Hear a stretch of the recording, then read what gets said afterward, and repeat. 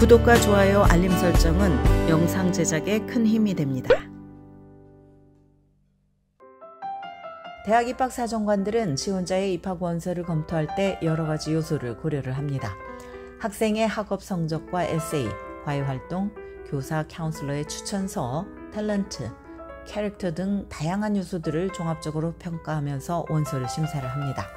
올가을 겨울 2023년 가을학기 입시를 치를 high school senior들은 아마도 hook이라는 용어를 귀가 따갑도록 들어봤을 것입니다.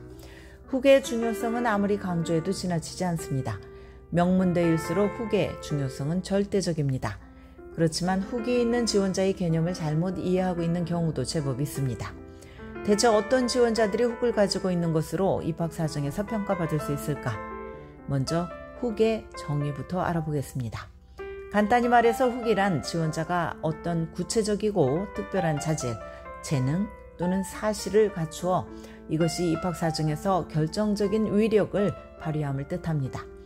본질적으로 훅이 있는 지원자는 해당 대학이 원하는 어떤 종류의 필요를 충족시킵니다.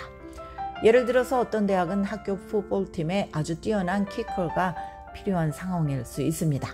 만약 내가 전국적으로 상위권에 랭크된 키커로서 강력한 실전 기록을 갖추고 있는 상태에서 그 대학에 지원한다면 입시 경쟁에서 우위를 점할 가능성이 높습니다. 마침 그 대학이 꼭 필요로 하는 요소를 내가 충족시키고 있기 때문입니다. 훅에는 종류가 있습니다. 크게 두 가지로 나눌 수 있는데 바로 스스로 개발한 훅과 타고난 훅입니다. 스스로 개발한 훅은 학생이 자신을 위해서 창조하고 발전시킨 능력입니다. 이에 반해서 타고난 훅이란 말 그대로 본인의 의지와 상관이 없이 가지고 태어난 특별함을 말합니다. 스스로 개발한 훅은 학생이 가진 독특하고 뛰어난 재능을 의미합니다. 이 우수한 재능이 수많은 지원자들 사이에서 학생을 돋보이게 합니다. 예를 들어서 앞서 언급한 전국에서 상위권으로 랭크된 풋볼 키커가 이런 경우에 해당이 됩니다. 운동선수로서 이 학생이 오랜 시간 쌓아온 노력과 역량이 훌륭하다고 평가를 받는 것입니다. 마침 해당 대학이 훌륭한 풋볼 키커를 필요로 하는 시점에 이 학생이 원서를 낸다면 치열한 입시 경쟁의 틈새를 더욱 파고들 수밖에 없습니다. 운동선수로 리크루트되는 많은 학생들이 바로 이런 이유 때문에 후기 있는 지원자로 간주가 됩니다. 많은 경우에 이들은 대학의 코치들과 소통 절차를 거친 뒤에 공식적으로 원서를 냅니다. 코치들이 보통 이들을 후원하고 입시에서 유리한 위치를 점하도록 도움을 줍니다. 운동선수뿐만이 아닙니다. 스스로 개발한 혹은 다른 분야에서도 가능합니다. 예를 들어서 전국에서 토론으로 top 5 안에 드는 debater이고 그이 분야에서 권위 있는 상을 받았다면 hook을 갖춘 것으로 평가를 받을 것입니다. 피아노나 바이올린 연주자로서 권위 있는 콘서트에서 연주 경력이 있어도 마찬가지입니다. 그런데 여기서 한 가지 확실하게 알아야 할 것들이 있습니다.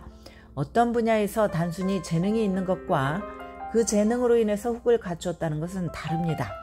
훅이 있으려면 어떤 분야에서 잘하는 것만으로는 충분하지 않습니다. 스포츠나 악기 또는 특정 분야에서 반드시 최상급이어야 합니다. 다음으로 타고난 훅에는 어떤 것이 있는지 알아보겠습니다. 한 예로 인구학적 요소 중의 하나인 인종이나 민족적 요소가 여기에 포함이 됩니다. 흑인이나 히스패닉, 아메리칸 인디언 등은 대학 입시에서 불충분하게 대표되는 소수계 그룹으로 간주가 됩니다. 이들의 인종 캐러고리는 역사적으로 미국의 고등교육기관에서 불충분하게 대표되는 소수계 그룹이 되어 왔습니다. 대학들은 여러 다른 배경을 대표하는 학생들을 선발을 해서 다양성을 갖추려고 노력을 합니다. 이것을 이루기 위해서 소수계 그룹의 학생들이 대학 입시에서 유리한 위치를 차지할 수 있습니다. 인구학적 요소의 다른 종류들도 대학에 따라서 훅으로 고려될 수 있습니다. 때로는 사회나 경제적으로 불리한 배경을 가진 학생들이 입학 사정에서 더 주목받을 수 있습니다. 이들 학생은 고등학교에 다니는 동안 특정 기회나 자원을 누리는데 한계가 있기 때문에 대학들이 원서를 평가할 때 이 점을 감안할지도 모릅니다. 또한 학생이 사는 주나 지역적 특성도 일종의 호구로 작용할 수 있습니다.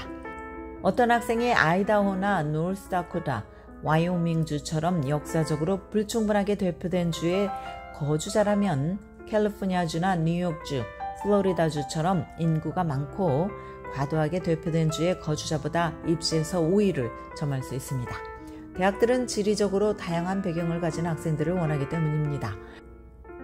균형 있고 다양한 신입생 구성을 위해서 대학들은 성 정체성이나 성적 지향 부문에서도 불충분하게 대표되는 그룹에 더 주목할 수 있습니다. 예를 들어서 역사적으로 남학생이 훨씬 많았던 스템 전공에서 여학생을 뽑으려고 노력한다든지 사회적 소수 그룹에 속하는 LGBTQ 학생에게 기회를 주는 것 등입니다. 입학 사정관들은 원서를 들여다볼 때 비슷한 배경을 가진 학생들을 비교를 합니다. 이유는 학생들이 다른 배경을 가졌을 경우 기회와 특권도 다르다는 것을 대학 측이 알기 때문입니다.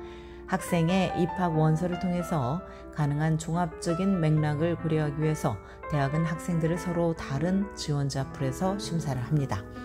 이런 이유로 상대적으로 비슷한 배경을 가진 풀 안에서 지원자들을 비교하는 것입니다. 훅이 있는 학생이라면 그 희소성과 특수성 때문에 같은 풀 안에서의 경쟁에서 유리한 것입니다. 지금까지 교육 전문 컨설팅 그룹 어드미션 메서스 진아킴이었습니다.